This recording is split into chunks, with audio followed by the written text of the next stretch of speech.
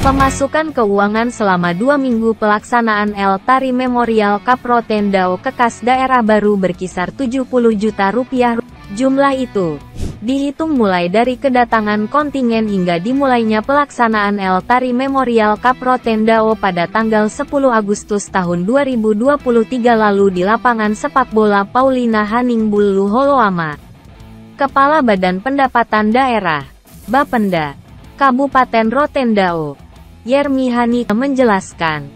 Berdasarkan informasi, setiap kontingen mempersiapkan belanja makan selama berada di Kabupaten Rotendao sekitar 100 juta rupiah.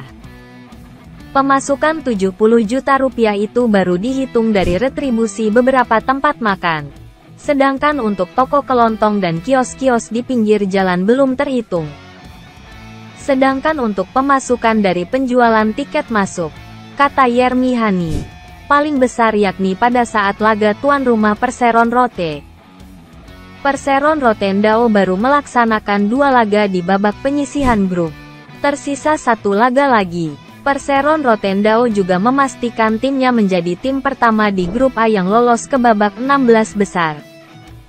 Selain itu, untuk pemasukan hotel dan penginapan sangat sedikit karena banyak ofisial dan pemain yang menginap di tempat atau rumah saudara atau paguyuban daerah asal tim peserta El Tari Memorial Cup Rotendao.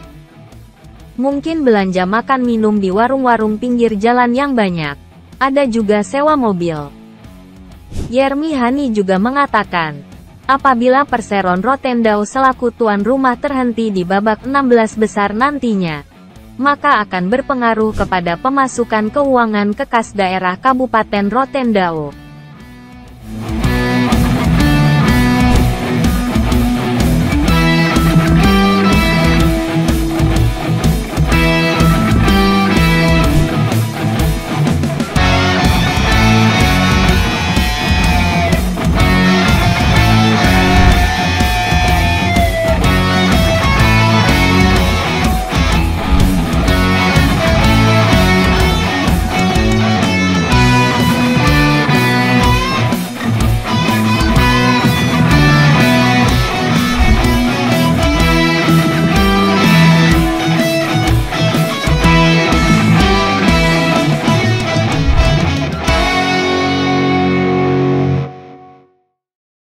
Terima kasih sudah nonton. Jangan lupa like, subscribe, dan share ya.